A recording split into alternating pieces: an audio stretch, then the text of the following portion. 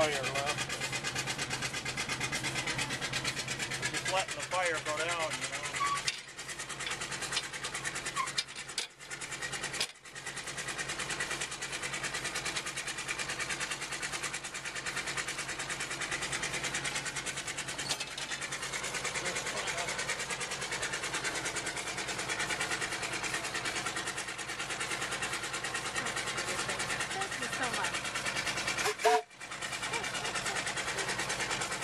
What do you love most about this train?